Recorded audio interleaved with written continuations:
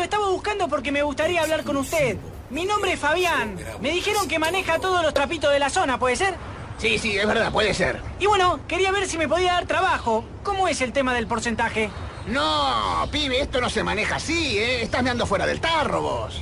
¿De verdad? ¿Por qué? Es como querer jugar en primera sin haber hecho las inferiores. No, me está jodiendo. ¿Usted me dice que no podría empezar a trabajar de un día para el otro? No, no, no, no. Los primeros dos años son de capacitación. No le vas a sentir ni el olor a un auto en ese tiempo. Y eso si no te llevas ninguna materia.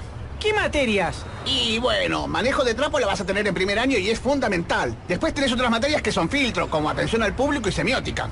Eh, esto debe ser una joda, ¿no? Dos años para aprender a hacer algo tan boludo como indicar cómo estacionar un auto y cuidarlo. Ah, boludez. Así que esto es una boludez. Bueno, dale, dale, vení, toma. Agarra este trapito y descosela, dale, ya que sos tan sabio. Mira, ahí viene un auto con balizas. Así lo estacionar acá, acá, que es donde yo lo cuido. Bueno. ¡Ey, ey,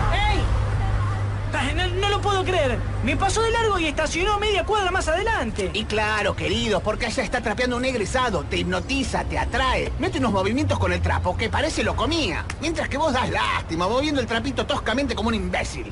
¡A la mierda! Sinceramente no pensé que esto iba a ser así. Y sí, la cursada es dura, pero salís con trabajo seguro. Si haces las cosas bien, en dos años podés estar rompiéndole el culo a los copetudos que quieren estacionar en la puerta del Malva. Bueno, la verdad que me entusiasmó. Anóteme para empezar, dele. Para este año, haceme reír, tengo todo lleno. Te puedo anotar una lista de espera para el 2016, pero no te prometo nada.